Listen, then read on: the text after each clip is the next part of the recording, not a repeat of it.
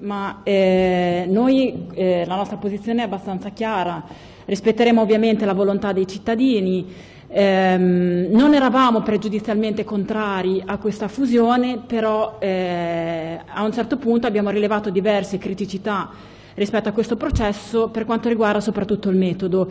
e soprattutto abbiamo palesato il nostro no e mm, abbiamo fatto campagna diciamo, non pro fusione nel momento in cui in questa sede fu presentato quel famoso emendamento che eh, di fatto attuerà tutti quei meccanismi per cui si andrà eh, di fatto a fusione in ogni caso. Quindi ci è sembrata un po' una presa, una presa in giro rispetto a un procedimento che era già in corso e che si temeva fosse, fosse applicato, se posso finire, fosse applicato eh, anche sulla fusione in corso, eh, oltre ovviamente a diverse criticità e, e, soprattutto rispetto a un metodo che noi non abbiamo condiviso, però adesso non voglio qui entrare in polemica con nessuno perché comunque le nostre rilevazioni le abbiamo fatte anche a livello territoriale, quindi la fusione e referendum è stato fatto, io piuttosto che eh, dovermi sentire in dovere di spiegare ai cittadini